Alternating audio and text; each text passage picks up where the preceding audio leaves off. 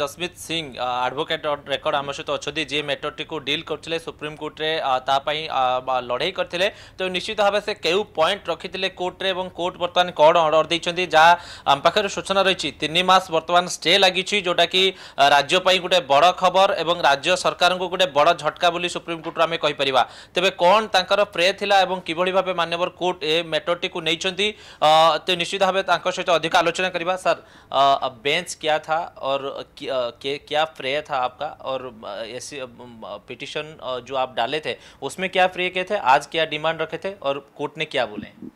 देखिए supreme court की जो बेंच थी वो ऑनरेबल जस्टिस अब्दुल नज़ीर द्वारा हेडेड थी।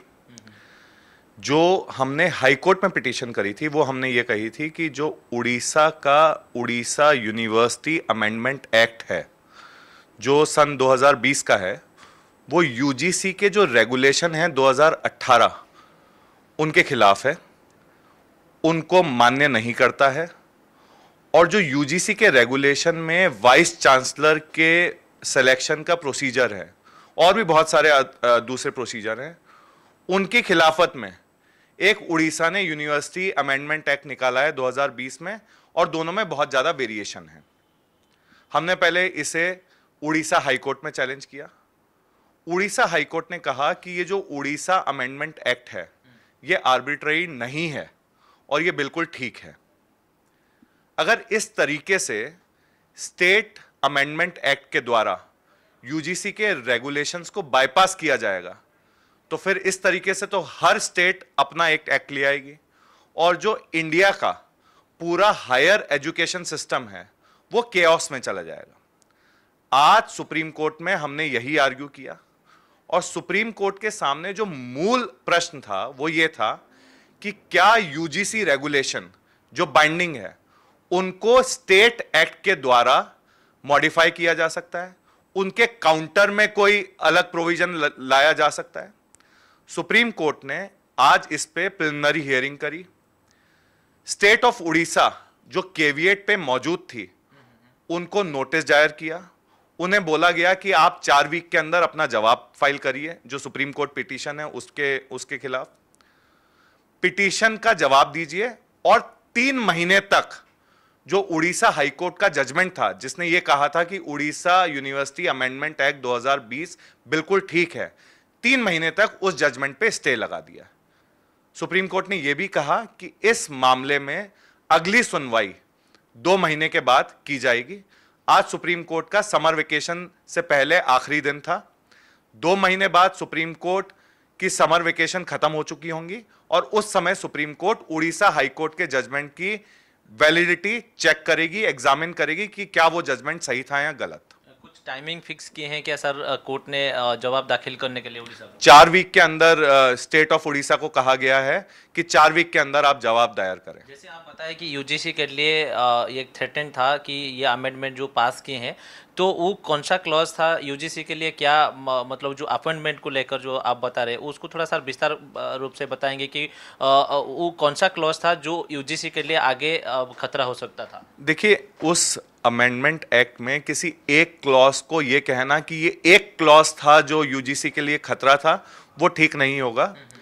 उस अमेंडमेंट एक्ट में कम से कम दस प्रोविजंस ऐसे थे जो यूजीसी के रेगुलेशन के खिलाफ हैं।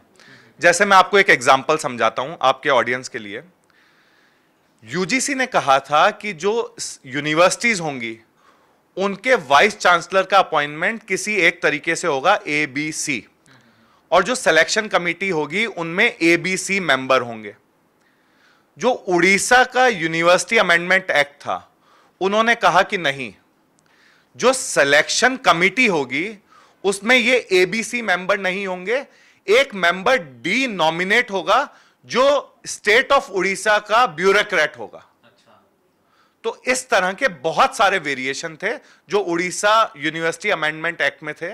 हमने इन वेरिएशंस में से कुछ वेरिएशन आज आज प्रिलिमिनरी हियरिंग थी, हमने इनमें से कुछ वेरिएशंस सुप्रीम कोर्ट के सामने उनको दिखाए, उनको बताया कि ये वेरिएशंस हैं।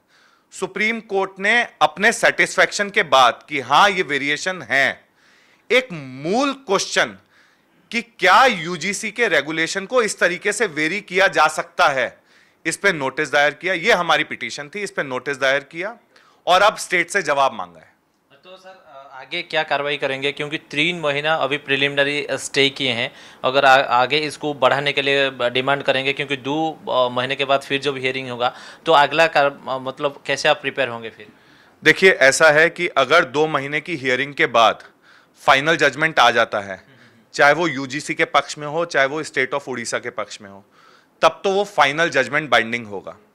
परंतु किसी कारणवश अगर ये हियरिंग दो से तीन महीने के अंदर कंक्लूड नहीं हो पाती तो ऑब्वियस सी बात है, हम एक एप्लीकेशन दायर करके इस तीन महीने के स्टे को एक्सटेंड कराने की कोशिश करेंगे एज पर लॉ ଆପଣ ଶୁଣୁଥିଲେ ଜସ୍ମିତ ସିଂ ଆମ ସହିତ ଥିଲେ ବିସ୍ତାର ଉପରେ ଆ, ସେ ଆମକୁ ବ୍ରିଫ୍ କଲେ ଯେ ୟୁଜିସିର ଯେଉଁ ଆକ୍ଟ ଥିଲା ତାକୁ କେଉଁଠି ନା କେଉଁଠି ଭାଉଲେଟ୍ କରିବା ପାଇଁ ରାଜ୍ୟ ସରକାର ଏମିତି ଗୋଟେ ଆମେଣ୍ଡମେଣ୍ଟ ତିଆରି କରିଥିଲେ ବା ପ୍ରସ୍ତୁତ କରିଥିଲେ ଯାହା ଫେଭରରେ ହାଇକୋର୍ଟ ରାୟ ଦେଇଥିଲେ କିନ୍ତୁ ବର୍ତ୍ତମାନ ସୁପ୍ରିମକୋର୍ଟରେ ସାମୂହିକ ଷ୍ଟେ ଲାଗିଛି ବୋଲି କୁହାଯାଇପାରେ କିନ୍ତୁ ୟାକୁ ଅ, ସେ ଏକ୍ସଟେଣ୍ଡ କରିବା ପାଇଁ ନିଶ୍ଚିତ ଭାବେ ଡିମାଣ୍ଡ କରିବେ ତେବେ କ'ଣ ଆଗାମୀ ଦିନରେ ସେମାନେ ଡିମାଣ୍ଡ କରୁଛନ୍ତି ଏବଂ ଅପେକ୍ଷା ରହିବ ହୁଏତ ଆଉ ଅଧଘଣ୍ଟାଏ କିମ୍ବା ଘଣ୍ଟେ ପରେ ସୁପ୍ରିମକୋର୍ଟର ସ୍ପଷ୍ଟ ଅର୍ଡର କପି ଆମ ପାଖରେ ଆସିବ ଯେ ଆକ୍ଚୁଆଲି ମାନ୍ୟବର କୋର୍ଟ କ'ଣ ନିର୍ଦ୍ଦେଶ ଦେଇଛନ୍ତି